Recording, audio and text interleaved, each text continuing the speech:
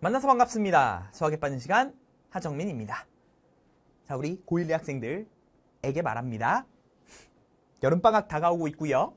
기말고사 끝났을 겁니다. 뭐 해야 돼요? 딱 하루만 놀고 공부하세요. 알겠죠? 미친 소리 하고 있는 거 아니야? 공부해야 돼요. 당연하잖아. 기말고사 끝났으면 공부해야죠. 그, 그렇다고 어, 바로 공부하라는 거는 나도 좀 양심이 있으니까 딱 하루 제대로 놀고 우리 이제 본격적으로 여름방학 준비합시다. 선생님 왜 이런 캐스트를 찍냐면 여름방학 기간이 짧다 보니까 여름방학 가지고는 뭔가 하기 애매해. 그러니 이 기말고사 끝난 이후부터 공부 시간을 활용한다면 그래도 뭐 하나 해낼 수 있어요. 아, 그러니 선생님이 간곡히 부탁드립니다. 기말고사 끝난 고 시점부터 하루 놀고 공부합시다. 알겠죠? 그럼 구체적으로 좀 무엇을 공부하면 좋을지 이야기 한번 해봅시다. 선생님, 여름방학에는 무엇을 공부해야 되나요? 일단, 여름방학 단점! 짧습니다. 그래서, 기말고사 끝나고 바로 시작해야 뭔가 끝낼 수 있다는 것. 그럼 우리는 지금부터 공부하는 기준을 기말고사 끝난 다음으로 바로 생각합시다. 여름방학이라고 해도 그 여름방학 시작 말고 알겠지? 어, 그러면 2학기 과목을 당연히 위주로 공부해야겠죠? 어, 2학기 과목을 공부할 겁니다. 그러나 등급에 따라서 효율적으로. 선생님이 항상 강조하는 게 뭐야? 그죠? 학생마다마다 등급에 따라서 이렇게 공부하는 게 좋아요라고 항상 나눠서 설명해 주죠. 어, 당연합니다. 많은 욕심을 내면 당연히 빨리 포기할 수밖에 없고요. 실패할 확률이 커요. 그러니까 딱 자기 능력에 맞도록 공부하는 것이 효과적이기 때문에 그래요. 그래서 요거에 요거는 이제 뒤에 나옵니다. 어떤 등급은 어떻게 공부할지 선생님이 한번 이야기하도록 할 거고요. 강의를 복습하는 방법.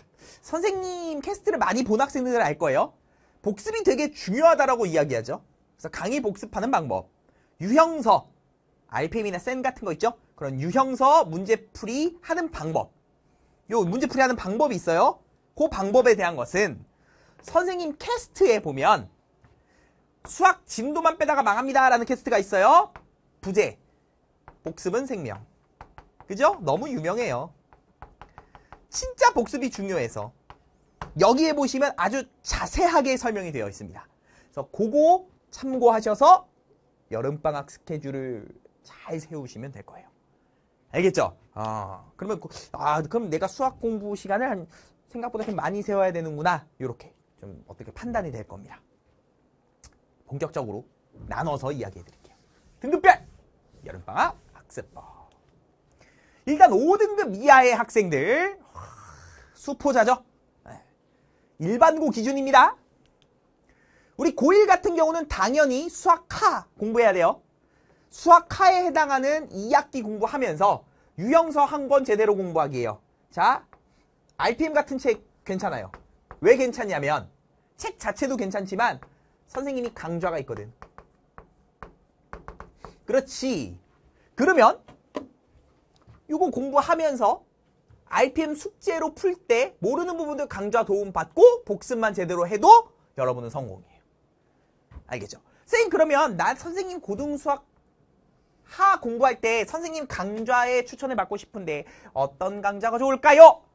5등급 이하 학생들 같은 경우에는 딱 개념 원리 한 것만 보세요. 오케이? 그런데 잠깐 내가 시간이 지금 조금 있어.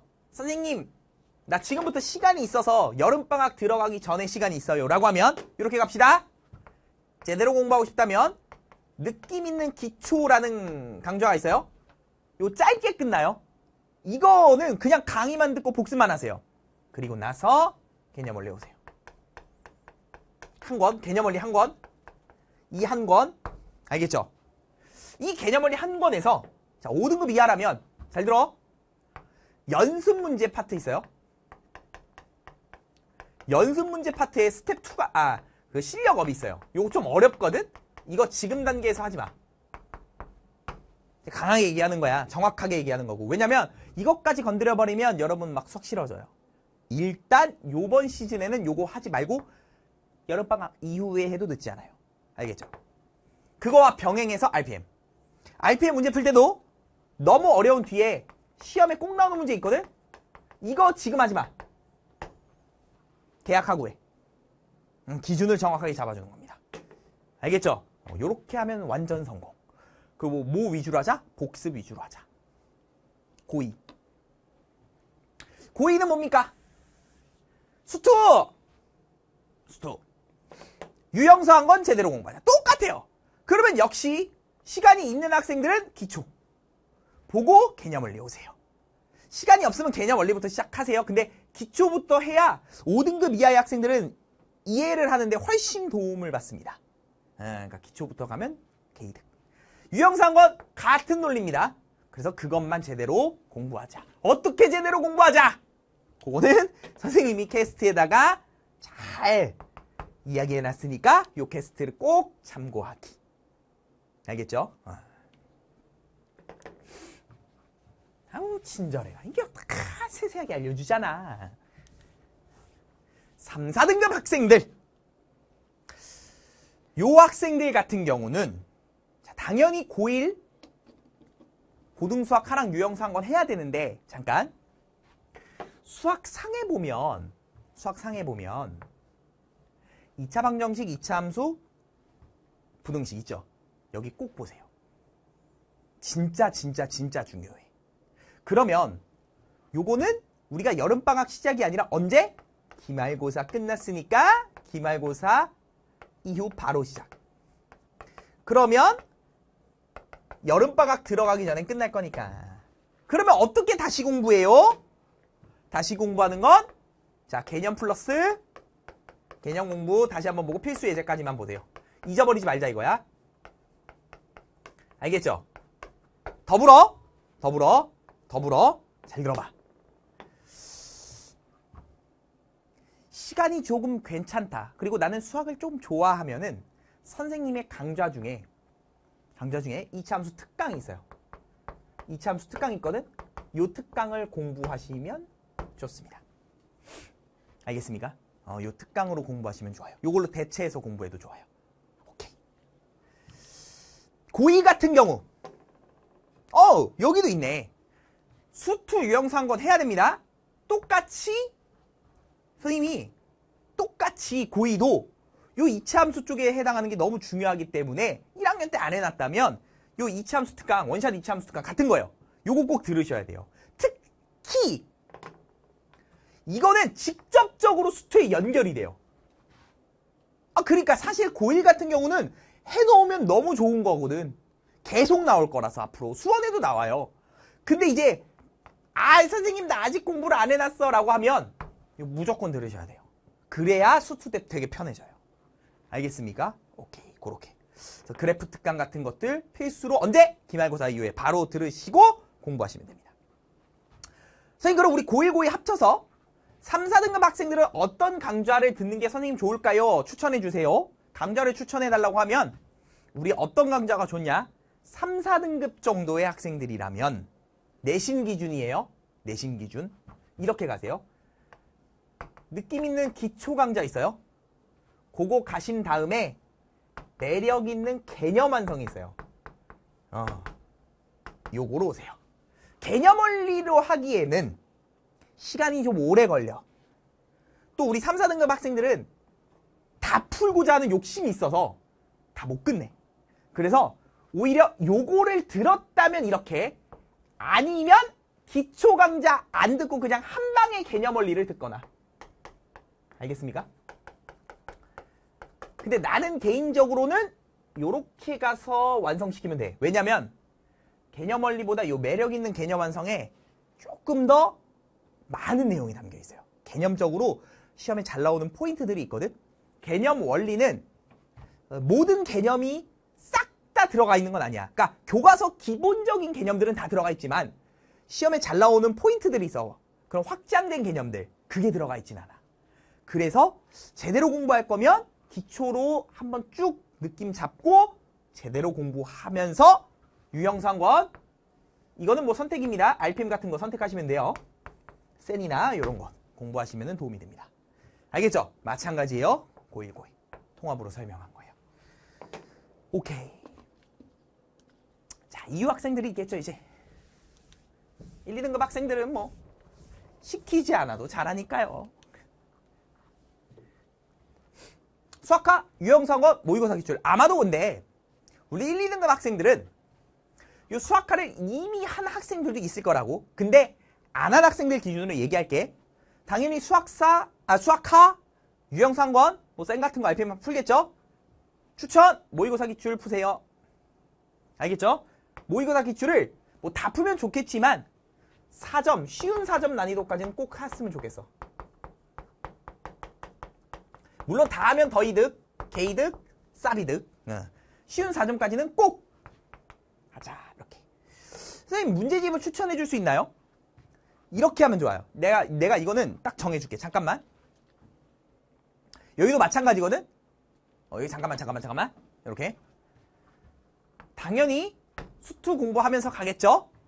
우리 1, 2등급 학생들은 선생님이 요, 요 문제집 추천에 조금 더 주목하면 좋을 것 같아. 여기에. 센을 만약에 선택했다면 센을 선택했다면 무조건 C 단계까지 꼭 하시는 거예요. 알겠죠? 이렇게. 어, 이 방학때 시단계까지 하면 모의고사 기출도 들어있고 그냥 한 방에 좋아요. 너무 좋아요. 이것까지 복습이 완벽하게 되면 진짜 실력 잘 올라요. 자, 아니면 이런 교재도 있죠. 마플 시너지라는 아주 양 많은 책이 있어요. 요거 양치기 할 때 좋아요. 요거 또 모의고사 다 들어가 있죠. 선생님, 저는 그냥 RPM 풀면 안 돼요? 근데 RPM만으로는 부족해요. RPM만으로는 부족하니까 이런 자이스토리라는 책이 있어요. 요거 다 풀지 않아도 돼요. 별 두 개까지. 뒤에 있는 1등급 고난도 그건 잘안 풀어, 아, 그건 지금 안 풀어도 돼. 알겠죠? 요거까지만이라도 완벽하게 한다면 진짜 도움 많이 받습니다. 제대로 공부하는 거예요. 아시겠죠? 오케이.